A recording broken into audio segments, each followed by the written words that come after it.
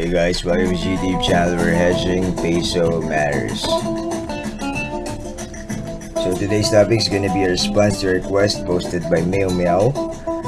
Bali ang pag-uusapan natin would be the pivot floor indicator or yung pivot points.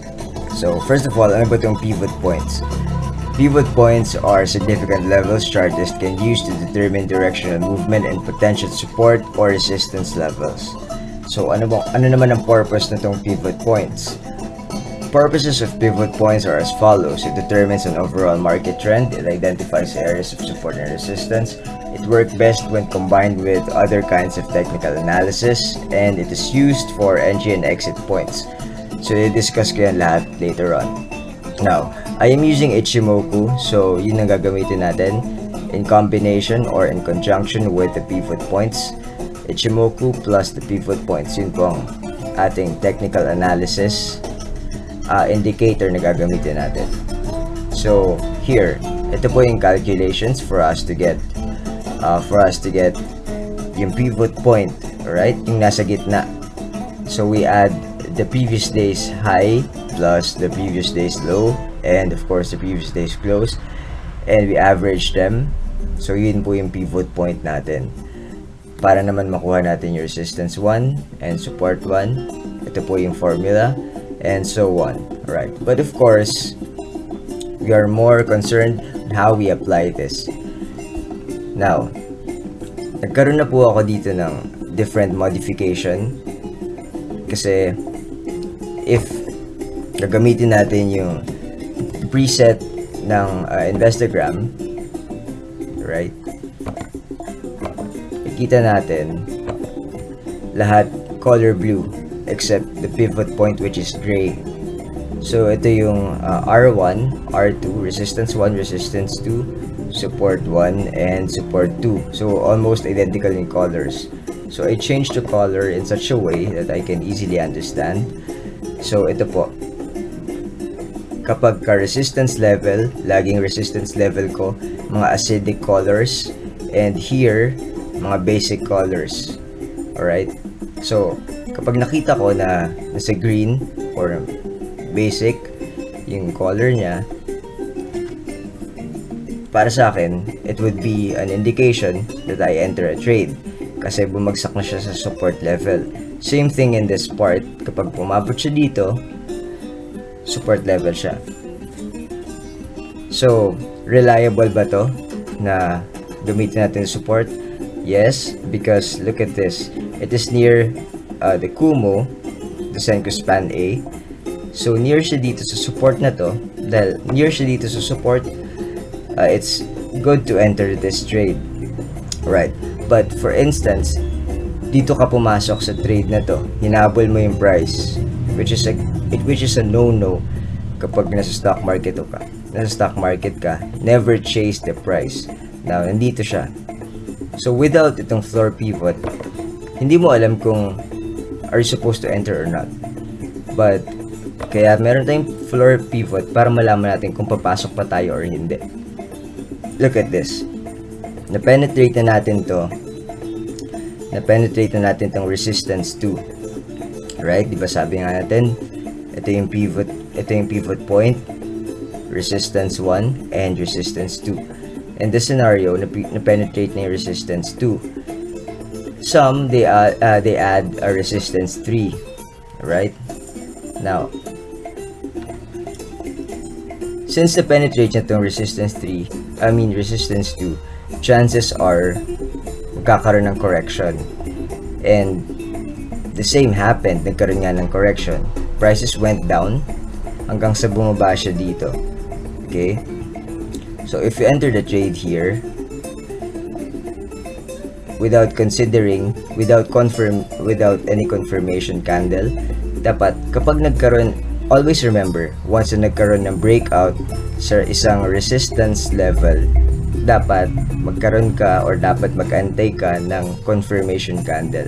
Ano yung confirmation candle na yun? The next day's, uh, the next day candle, dapat mag-close siya above dito para ma-confirm natin na talagang breakout siya nitong na-break niya na tong resistance na level na to. But if pumasok ka kagad dito, chances are ano yan, 50-50 yung chance mo. Hindi mo alam kung tataas or bababa kasi hindi pa nga confirmed dahil wala pa itong candle na to. Now, kung inantay mo to at nakita mo nag-close siya below dun sa resistance level na to, of course, you won't end, you won't be entering this trade anymore. Kasi alam mo, hindi niya kinaya and nag-close siya below this resistance level, chances are, the prices would go down dahil magkakaroon ng correction. And yun nga po ang nangyari, nagkaroon ng correction. Right? Here. Try naman natin, NRCP. NRCP used also pivot points here. I entered the trade at 1.47. So dito ako pumasok.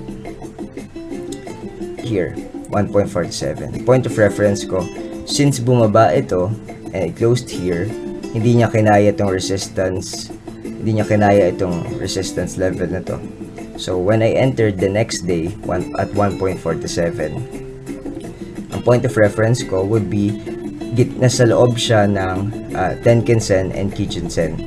So, if bumaba man ang price hitting this 1.42 level, dito ka nag-set ng stop loss. So, now, I exited the trade at 1.75. So, ba't ako nag-exit dyan? Kasi nandito na siya sa resistance 2. So, sabi ko nga, most of the time when it hit this resistance level, this resistance 2, magkakaroon ng correction palagi. And prices would go down. Now, saan bababa yung price? Usually, bumababa po ang price here sa Tenkan-sen. And there are also times bumababa po siya dito sa Kijun-sen. Like this. Sa Kijun-sen siya tumama. Bumaba from here the price went down. Hindi niya na-break. Na-break niya to, but of course, hindi siya successful in breaking this resistance level kasi the price went all the way down. So the next day, bumaba pa rin.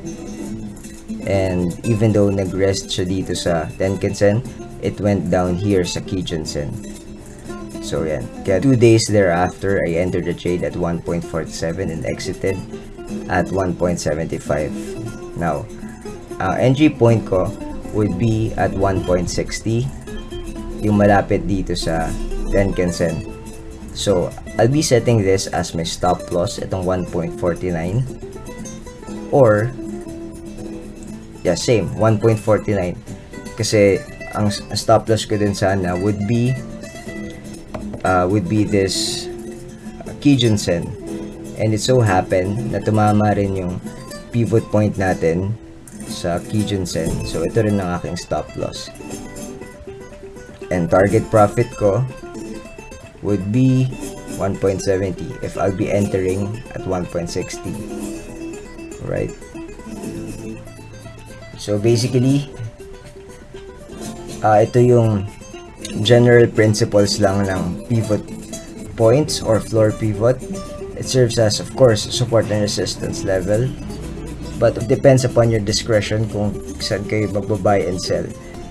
So, if you find this video informative, give it a thumbs up. And again, thank you. You may also would like to check my other videos.